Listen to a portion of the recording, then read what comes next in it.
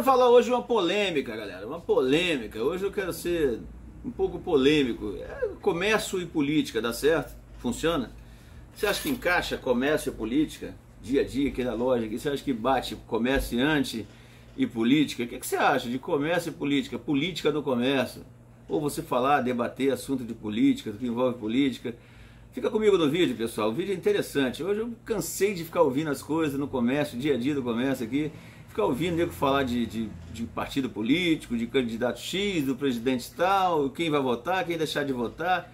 A gente tem que ouvir as coisas e muitas vezes absorver e ficar quieto, né? A nossa opinião muitas vezes não, é, não agrada as pessoas. Então, mas hoje eu quero falar com vocês aqui nesse vídeo o que, é que eu acho sobre comércio e política. O que, é que eu penso a respeito disso? Vocês não querem saber?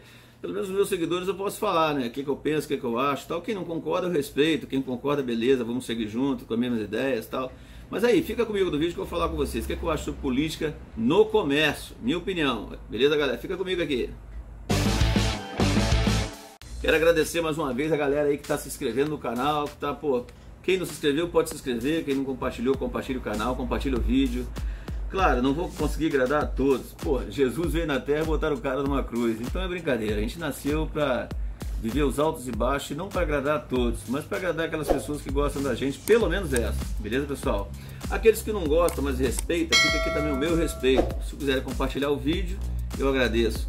Quero falar hoje um assunto polêmico. A gente está na loja, a gente vê muita coisa. Entra, entra gente preta, branca, amarelo, cor de abóbora, azul, vermelho rico, pobre, mulher, homem, velho, novo. Então, galera, a gente vê muita coisa no comércio. E o comerciante, e, e, por ele assistir muitas coisas, é, eu cheguei a um ponto. Eu sempre fui um cara muito de opinião, uma personalidade muito forte, personalidade forte demais, desde criança. E muitas das vezes isso me ajudou, muitas das vezes isso me atrapalhou. Porque a gente, quando, é, a gente é novo, a gente não tem maturidade suficiente para você saber a hora de falar, a hora de calar, a hora de ouvir, a hora de dar o seu palpite, a sua opinião, né? Porque muitas das vezes as pessoas não gostam de ouvir a nossa opinião. As pessoas têm razão de uma determinada coisa, um determinado produto, uma determinada posição que ela tem, seja na área financeira, na área, na área física, sexual, sentimental, espiritual. Então ela não gosta de ouvir, ela gosta mais de falar. Entendeu? Então quando a gente é novo, a gente é muito imaturo. A gente não sabe o que é certo, o que é errado e o que a gente expõe, a gente julga ser certo e quer impor às vezes às pessoas o que a gente acha que está certo. E não é por aí. A vida vai ensinando, vai te moldando e depois de um tempo você vai amadurecendo, você vai crescendo em todos os aspectos e sentidos.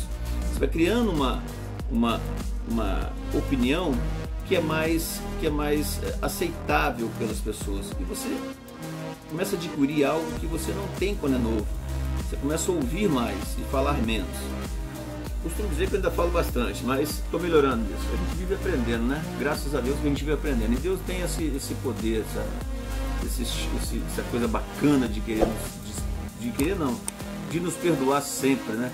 E nos possibilitar crescer todos os dias e aprender cada vez mais. Muito bom quando a pessoa entende que precisa crescer, que precisa aperfeiçoar, que precisa melhorar, né? Como ser, como ser humano, como pessoa, como cidadão.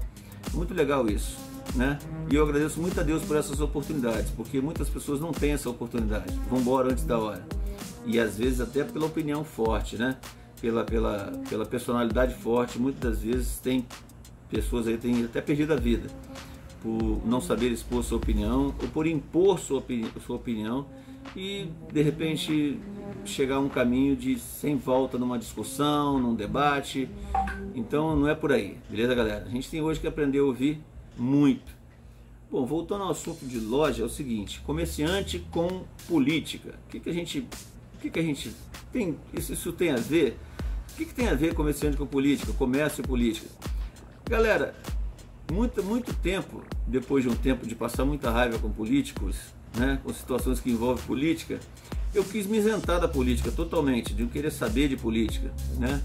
Eu acho que é o grande mal do ser humano, do brasileiro, de qualquer pessoa, de qualquer país, é ficar fora da política, não querer debater política e não querer entender de política.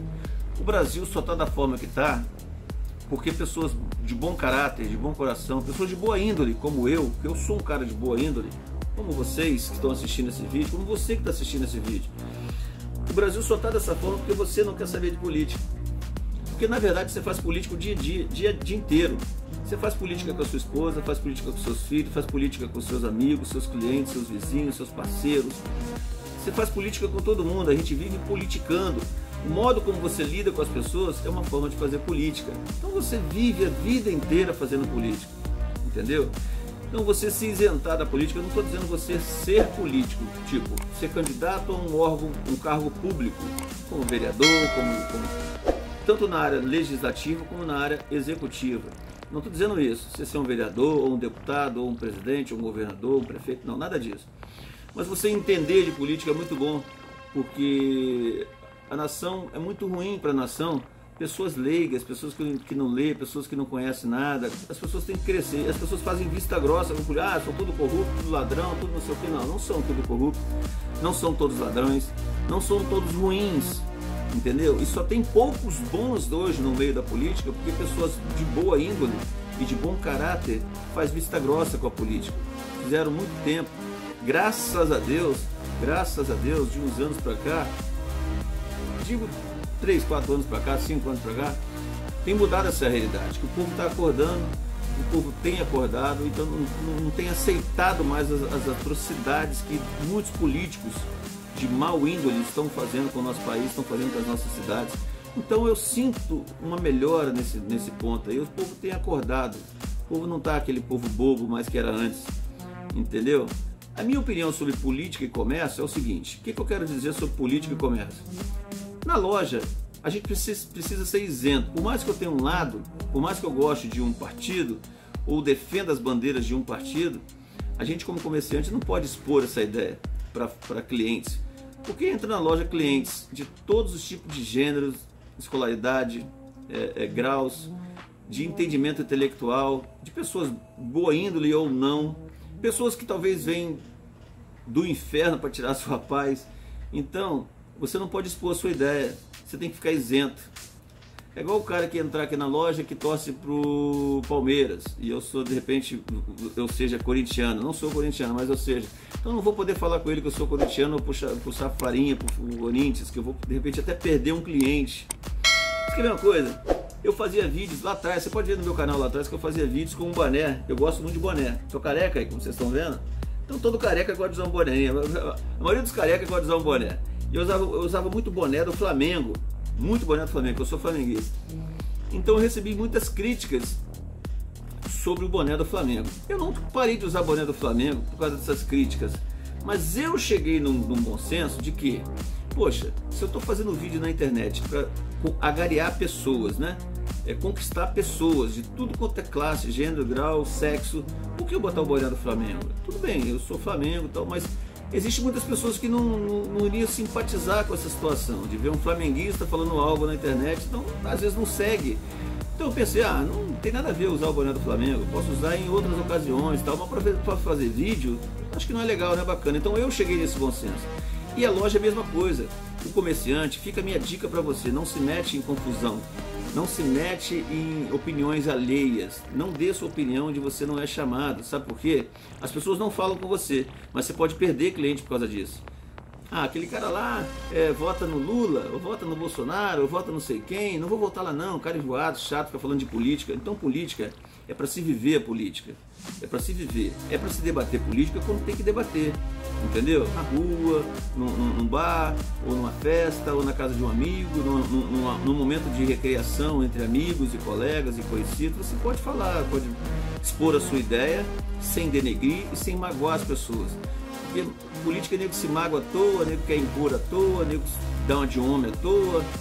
Então, confusão, é bom a gente ficar, passar longe de confusão. Então chega um, o cara quando é jovem, tem 20, 30 anos, 35, acha que é homem, acha que faz, acontece, tem razão de tudo e não ouve ninguém. Mas fica a minha, a meu, meu, se você for comerciante, não que seja jovem, mas se for comerciante, fica a minha dica para você aqui, não se meta em política na loja, no seu horário de trabalho. E outra coisa, se pintar um cara na sua loja que não é do mesmo partido que você, não tem os mesmos ideais em relação à política que você, concorda com ele em tudo. Concorda com ele em tudo que ele, que ele falar com você. É melhor que você conquista o cliente, é, mantenha esse cliente ele volta a comprar com você. E não sai falando mal de você por você debater uma ideia num momento errado que você está trabalhando, você não tem que falar de política.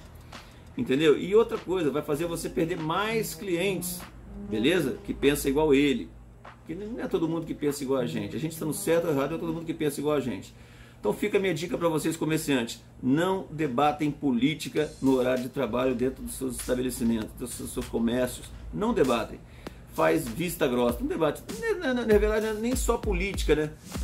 Jogo de futebol, time de futebol, denominação de igreja, essas coisas não se debatem em loja, opiniões, porque são coisas sérias. Que as pessoas têm uma facilidade tremenda de sair da razão e às vezes elevar o tom da discussão e você acabar perdendo um cliente por tentar impor a sua, a sua ideia, a sua posição.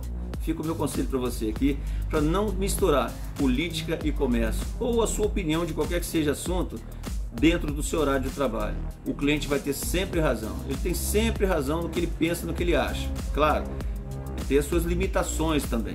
Ele não pode impor para você algo que, que não é correto, beleza? Mas em relação a conversas, essa conversa só vai fluir, só vai acontecer, só vai inflamar se você impor, tentar impor a sua ideia, a sua posição, se você dá a sua opinião. Entendeu? Então é melhor você ter paz na sua vida hoje. É muito melhor você ter paz e dormir com a consciência tranquila do que você ter razão. Fica com essa frase para você. Melhor você ter paz hoje da minha vida. Eu prefiro ter paz do que ter razão. Beleza, galera? Forte abraço para vocês. Que Deus abençoe a vida de cada um.